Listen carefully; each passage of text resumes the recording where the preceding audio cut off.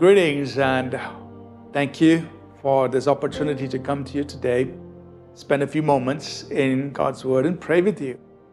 This week we'll be talking about an interesting topic on marriage preparation, just reminding us of what the Word of God teaches concerning marriage and helping us learn how to practically apply that.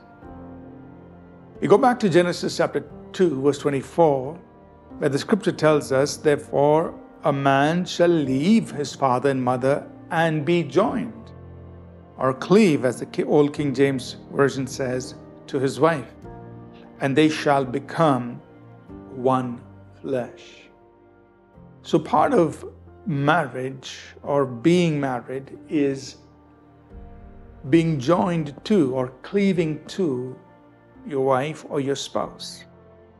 So, yesterday we talked about the importance of leaving father and mother. Today, as we continue to look at this verse, we look at the second part in this verse, which is cleaving to your spouse. Remember, this verse applies to both the man and the woman, the husband and the wife, because they are both entering in to being married. And as you prepare to enter into being married, you should be prepared to cleave or be joined to your wife. What is that implication?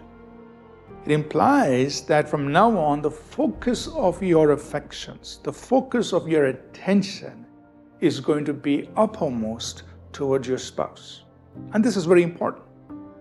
You see, sometimes we uh, people enter into marriage and their attention is divided or sometimes on something else. Something else is uppermost, something else has a grip on their emotions. It could be a sport and entertainment, it could be other friendships, and so on. And you're entering into marriage while the emotions, affections are locked somewhere else, and that will prevent the individual from cleaving to or being joined to or being fully committed to their spouse. And that way, if that is the case, then that marriage is going to sooner or later have difficulties. So, as part of preparing for marriage, not only are we learning to leave father and mother, but we are preparing to cleave. That means you're getting your emotions, your affections ready to now reprioritize themselves and make focus, bring their focus uppermost on your spouse to be. That you're, you're therefore mentally, emotionally, and in every way, practically, getting yourself ready that from now on, my spouse is going to have my undivided attention as far as my uh, emotions and affections are concerned.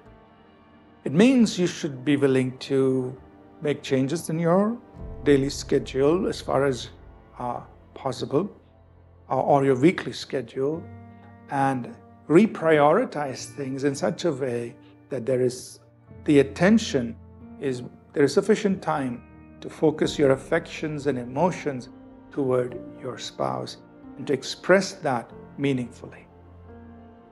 And this is a big challenge, especially in today's world when uh, usually husbands and wives both would be working or may even have different work schedules and travel, work related travel, and so on.